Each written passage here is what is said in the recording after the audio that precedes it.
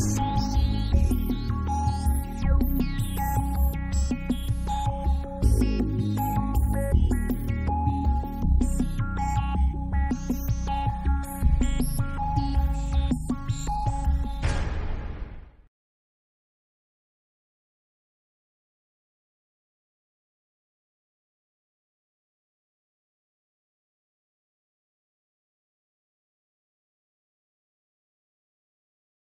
Teraz się odbywa y, kampania do bycia kandydatem y, w Ameryce dla prezydenta. Co Pan uważa na temat Donalda Trumpa uchodzącego za kandydata spoza tego establishmentu?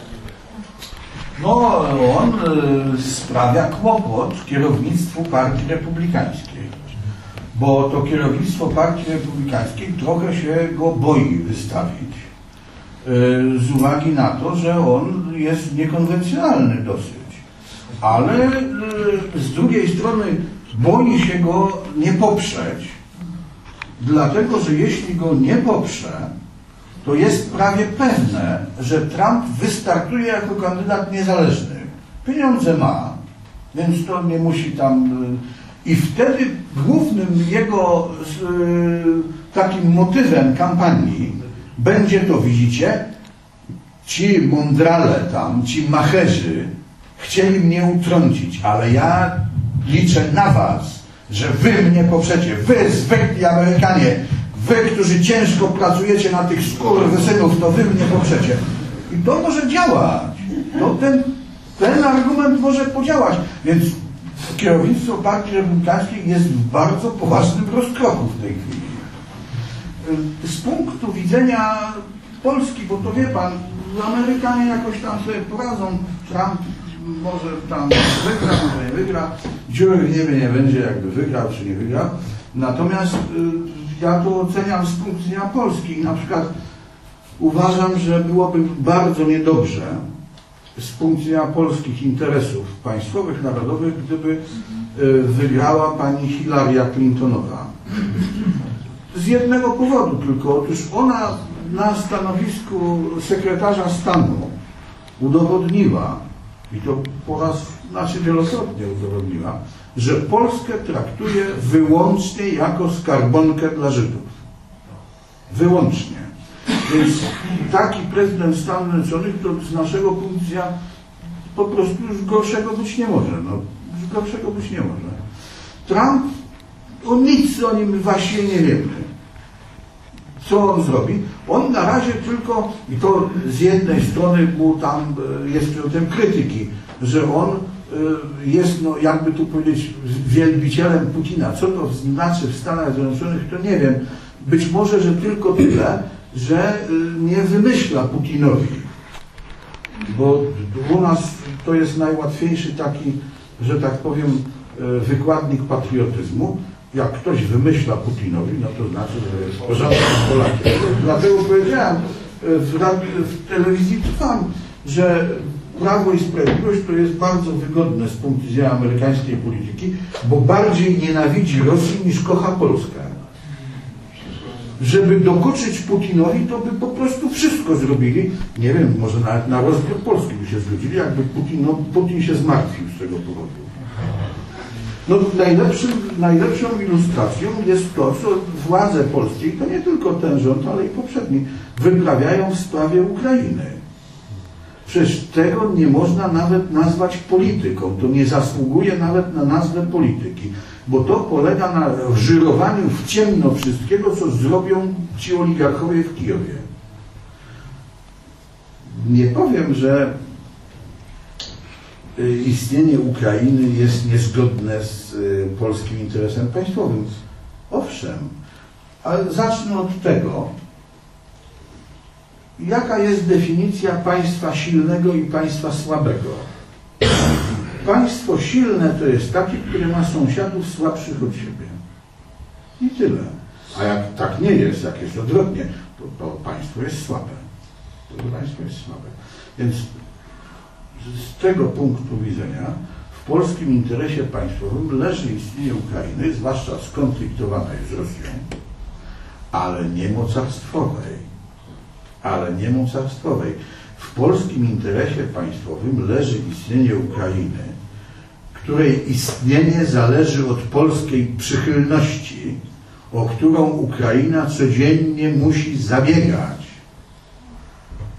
To interes, a nie na tym, żeby im się podlizywać. W jak, proszę? Jak to zrobić? No, proszę pana, jak to zrobić? Gdyby w Polsce ktoś uprawiał politykę, to jeszcze przed rewolucją pomarańczową powinien ktoś pojechać bo do, z Waszyngtonu, do Departamentu Stanu i tam powiedzieć, słuchajcie, wiemy, że przygotowujecie pomarańczową rewolucję na Ukrainie, bardzo chcemy tam instalować tam piękną Julię i tego tam drugiego. Okej, bardzo nam się to podoba. Wszystko pięknie. Powiedzcie, co mamy zrobić, to my się do tego włączymy od strony wywiadowczej, tam wojskowej, finansowej, propagandowej. To trzeba to zrobimy. Jeden tylko warunek z naszej strony. Jeden że siłą napędową tej rewolucji nie będą banderowcy. Bo jeżeli będą banderowcy, to zamkniemy granice, wszystkich wyłapiemy, wsadzimy Putinowi w pociąg od razu na Kamczatkę. Polska nie może popierać ani nawet tolerować, jeśli ma takie możliwości, na Ukrainie kierunku politycznego, który wysuwa wobec Polski roszczenia terytorialne. I dobrze, jak oszukiwać, to można wrogów. Natomiast jeśli się przyjaźnimy z Amerykanami, a przyjaźnimy się chyba, to trzeba im przyja- przyjaciołom się mówi prawdę. Przyjaciołom się mówi prawdę, żeby była jasność. I oni się nie obrażają. Turcja jest bardzo dobrym przykładem, prezydent Erdogan powiada tak, albo się przyjaźnicie z Kurdami, albo z nami. Bo przecież w, w Turcji nawet każde dziecko wie, że państwo kurdyjskie to jest rozbiór Turcji. No to albo się przyjaźnicie z Kurdami, albo z nami. Jeśli z Kurdami, no to, no to, to znaczy, że nie z nami. A jak się nie przyjaźnicie z nami, to znaczy, że jesteście naszym nieprzyjacielem. Prawda? No i tyle. I to, to jest, no, nie można opierać, znaczy sojusz polsko-amerykański nosi wszelkie cechy sojuszu egzotycznego. Bo sojusze się dzielą na egzotyczne i realne. Sojusz egzotyczny to taki, jak jeden sojusznik utraci niepodległość, drugi może tego nawet nie zauważyć. Nic na to nie możemy poradzić. To wynika z obiektywnych proporcji między naszymi państwami. Tej egzotyki nie możemy usunąć, ale możemy ją zmniejszać. Możemy ją zmniejszać, dlatego jak, e, jak był prezydent Obama w Warszawie, e, to chyba mówiłem o tym wcześniej, w czerwcu 2014 roku, to dwukrotnie mówiłem na antenie Radia Maria, że on przyjechał, żeby nam powinszować, żeśmy się znowu podjęli roli amerykańskiego dywersanta na wschodnią Europę. Dobrze albo trudno, no to zależy już kto na to patrzy, ale skoro żeśmy się podjęli, to nie możemy powtórzyć błędu prezydenta Kaczyńskiego, który się tej niebezpiecznej roli podjął za darmo. Więc teraz powinniśmy korzystając z obecności pana prezydenta Obamy, powinniśmy załatwić z nim dwie sprawy. Bo to nie jest tak, że my, nie, my do tego interesu nie wnosimy żadnego aportu. To jak ktoś tak myśli, to po prostu y, jest w błędzie. Polska udostępnia Amerykanom swoje terytorium do ich rozgrywki z Moskalikami ryzykując w razie czego zniszczeniem tego terytorium. To nie jest aport bez znaczenia. No to skoro tak, to powinniśmy oczekiwać wynagrodzenia za taką przysługę. I wynagrodzenia w jakiej postaci? Przynajmniej dwie sprawy załatwić. Pierwsza, że rząd amerykański tu oficjalnie obieca nam, że nigdy nie będzie na Polskę wywierał nacisków w sprawie żydowskich roszczeń.